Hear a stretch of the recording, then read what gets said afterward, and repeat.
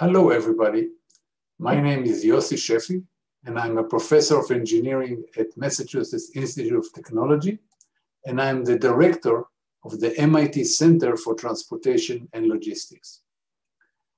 First, I would like to thank the good people of uh, JD.com for inviting me to address the Global Smart Supply Chain Forum today. The MIT Center for Transportation Logistics has been operating for many years in Ningbo in China, and I've been to China many, many times, dozens and dozens of times, and enjoyed every time. I wish I could be with you in person, but it's not going to happen this time around. What I'm going to talk today is about my book, which just came out last week. So let me just share the screen with you and show you what it looks like. So this is it. And my friend from the center at Ningbo um, translated the cover of the book to Chinese. But that's all the Chinese that I'm gonna talk about today. Instead of uh, talking about this, let me talk about the subject of my conversation today. While China has come out of the economic impact fighting the, the pandemic, the rest of the world is still experiencing many cases, hospitalization, and death. However, we're starting to see what the long-term impact of the pandemic are going to be in terms of business and supply chain. Let me talk about some of the biggest lessons and forecasts that I found out in the months that I've been working day and night on getting this book out in time. I've interviewed dozens of executives and view many, many documents and look at the media, of course, all over the world to come up with a picture of what happened and what the world is going to be like going forward. The first point is that they, just like the people who were badly affected, it was the old and the sick, they were vulnerable to the disease, and many of them died. Similarly, companies who were weak before, overextended, had questionable business model, they are going out of business. For example, US department stores. In 1998, the sales of US department stores were over $30 billion. In December 2019, they were down to $11 billion and then down to $8 billion in the few months since the uh, start of the pandemic. Many of them just going out of business. Many departments are going out of business. Second point, some companies were ready. They mapped the supply chain. They understood where product were produced, where and which product the, the part goes into, which which final product it goes into and which customers it going to. So in case of a disruption, at say a supplier, they can quickly calculate the value at risk. They know which product this supplier is supplying. They know which customer the final product go into, and they can set priorities. They are also ready to deal with disruptions. What do I mean by ready to deal? The company are successful. They very quickly sent an emergency management center and good companies know that there are disruptions all the time, so they have a process for setting emergency management centers. They have good communication, and they have the hub of the communication is this emergency management center. They have clear decision-making authority because people may fall sick. The, the good company know that they have to review suppliers. They have to make sure that suppliers are still in business, and they have to look at many more items beyond just is it good price, is it good customer. They have to look even at the human resources um, processes of the supply to see if they keep, if they if their uh, workers are healthy and they'll have the capacity to produce. This company review product and customers. In many cases, companies don't have enough for all customers. So setting up priorities ahead of time, understand how you do all the trade-offs between customers when you cannot supply all customers, but you want to keep good customer relationship, companies follow processes. And I talk in my book about many of these processes with, uh, with examples. As we go into a recession, at least in the Western world, there's greater focus uh, on cash as is in any recession. But one has to be very careful with extending payment to suppliers because it, if the su small suppliers can be put in risk if they are not paid in time. Another thing that most companies do is reduce the number of SKUs in order to keep supply and make sure that the supermarket shelves are full. They reduce the number of uh, SKUs and focus on the fast and big sellers. This also helps for cost because you have less product change as you run your uh, production. And finally, it's the time to make tough decisions. They say crisis is a terrible thing to wait. It's time to look at all your customers, all your product, all your employees, who is making it and who is not. The last point that we see companies are doing is they have tools for omni-channel. This is particularly relevant for retailers.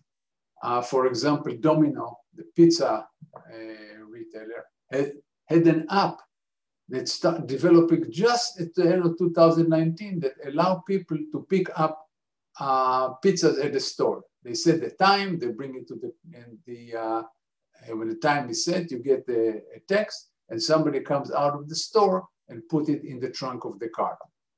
They, they did only experiment in 10 stores, now they extended it to all the stores. As a result, the sale went up 16%, while competitors went out of business. The third um, element that we see is, of course, the growth of e-commerce. Uh, JD.com, Alibaba all went up 34% in sales. But even companies who do not sell only online. Companies like Target and Lowe's and Walmart, their the e-commerce business went up tremendously. Companies understood that uh, even if you didn't do e-commerce before, it became a necessity. It's not a question, do you want to do it? You have to do it to stay in business. And as a result of this, e-commerce companies all over the world are investing more and more in fulfillment centers and distribution center close to the customer. The fourth thing that we see is that companies are installing digital tools at much faster clip. Not only the leaders, but everybody. Part of it is because the tools are becoming cheaper and more powerful. In the book, I have a story of a small family-owned uh, retailer near Boston that used to serve institutions. They used to serve prisons and universities and restaurants, all of those, all these stops, and they quickly changed to serving consumers. They had to learn on the fly how to do a website, how to do marketing, how to do telephone help, how to do how to send email to all uh, to all the customers, how to work on customer service. This does the husband and wife team, and they did a great job and they stayed in business and hired all the 20 drivers that they had to let go before uh, in the early days of the pandemic. Important areas that we see are putting more technology in communication, in visibility. Give you an example of what the General Motors is doing now. People in the plant have the daily production schedule. They also have the inventory on hand. And they many times they see that for the next, for the same day, for the next day, for another day, they don't have enough inventory to do the production schedules that marketing and sales want. So now they have the ability to identify shortage by part, by part number. So they know what they're missing, but there's a company that gives them what is happening on all inbound trucks into the plant. And there are 40 or 50,000 inbound trucks going to all the plants, the assembly plants, the engine plants, the uh, transmission plants. They look at all of those, they identify which part is on which truck, and they can reschedule all the trucks. So one truck will stop somewhere and unload some part, another truck would pick it up, and they're re-optimizing all the movement, rerouting, relay, offloading, you know, uploading, send new instructions to all the truck. they ensure that no shortage is developed in any plant, and they update the plan, the plans of all the plans. Think about the computer power that's needed to do it. It's done, of course, with a lot of AI, with a lot of uh, um, some of it even classical optimization, but infused by a lot of AI and machine learning. Talking about AI, it's using the sixth point here is AI is using more and more area, including logistics and transportation. AI is the engine of autonomous vehicle, be it curbside delivery, drone, warehouse management system, warehouse robotics, autonomous trucks, back office automation, forecasting. For example, uh, the company I mentioned before does ETA to the plant much more accurately because they take a lot more information, like even the length of the queue at the Mexican border into consideration when they make the ETA. And of course, weather and a lot of other things. We see much more use of cloud computing, not only by traditional companies, but even smaller companies understand that through the cloud, it is much easier to install, manage uh, applications and get, get them to work much faster. We see, of course, communication, maybe other area. Telehealth, uh, you go to the doctor now in the United States, which is still, of course, as many cases, you do it online. There are telehealth uh, uh, specific application for medical um, communication. Universities, universities completely changed. They're done 90, 95% online. You can see that companies are also working a lot from home.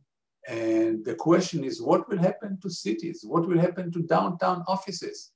People can now work from anywhere. So the, the next point is there is a lot, a lot more work from home, but this some of it is going to stay, even though they interestingly it may bring the opposite effect of what the Western media is talking about. We see a lot of uh, articles about the end of globalization. Well, I'm not so sure because if people can work from anywhere, then there'll be more globalization of white collar of office worker. They can work from anywhere. If you work in Boston and you can, uh, if, if your office is in Boston and you can, you want to live in New York, you may also live in Shenzhen. You may also live in uh, Madrid. It doesn't matter where you now you have to adjust the hours, but you can live wherever you want. There's also a lot of media talking about the end of just in time, the end of the Toyota production system. Again, this is overhyped, it's not happening. The, the Toyota production system is too important, it's the biggest change to manufacturing since the Industrial Revolution. It brings competitive advantage. Now, governments may be able to keep critical supplies of some medical supplies and some other supplies. For businesses, it's very hard. They're, they're becoming uncompetitive if they keep too much inventory. So I don't see it happening. Finally, a lot of Western media is talking about leaving China. No, again, this is something that I don't see happening, and many of the companies that I talk to don't see happening. Many companies spend decades develop not only final assembly, but the entire supply chain, a whole ecosystem of business in China, of suppliers, their supplier, their supplier, their supplier. They have the relationship, they have the expertise. This cannot just change in a minute. Uh, people now stay in China not so much because of labor costs. Labor costs in China have been going up significantly.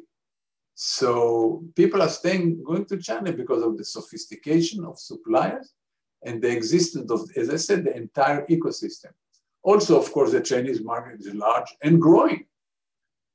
So, for example, garment manufacturing is leaving China going to Bangladesh, Sri Lanka, because the costs there are one seventh of what they are in China. But these are things that require very little uh, capital investment and the labor, and a lot of labor, cheap labor of women sewing and uh, sewing garment. Sophisticated manufacture, however, stays in China. So for example, clothing export in, from China to the world in 2010 was 37%. 37% of all clothing uh, around the world were exported from China. 2008 years later, 2008, it went down to 31% because even Chinese companies were leaving China. However, textile manufacturing grew from 30% to 38% of, uh, of world export. Why? Because making garment is labor intensive and little capital investment. Textile is the opposite, sophisticated, automated, machine driven, so it stays in China. Finally, let me just say that as a result of the pandemic, we have a few worries. First of all, uh, you know, for the world. First of all, sustainability. I see a lot less attention in the coming years to environmental sustainability and global warming because we have to get back to business. So despite all the talk of Western companies of going back, they have to get back to business. People will be poorer. They will not be able to pay more for sustainable product. So I see sustainability, the, the emphasis on sustainability going down. Another thing that uh, took place is the growing inequality, both internally, I'm talking on the Western world, that's what I know, between people who have, between people who can work from home and people who cannot work from home, between people who have access, good access to internet and the ability to study and work from home and people who cannot. But also I see growing inequality between countries. I see countries in Africa that, or countries in, uh, Latin America and some part of Asia going backwards, going backwards instead of mortality and health and GDP and business formation. On the other hand, rich countries like, like the US, like Europe, and of course China, which was already beyond the pandemic, can invest and get further ahead. Finally, I see uh, maybe no, many worries, but the last one that I'll mention it is industrial concentration. The big companies are simply getting bigger and this has impact on innovation because the big companies usually are not as innovative as smaller entrepreneurial companies. And when big companies are simply buying small companies, it's not clear that innovation will continue around the world in the same pace. Okay, let me stop here. And I want to in, thank the people at JD.com to, for inviting me to speak. And I wish JD.com and all the guests a very productive forum. Thank you very much. I enjoyed talking to you.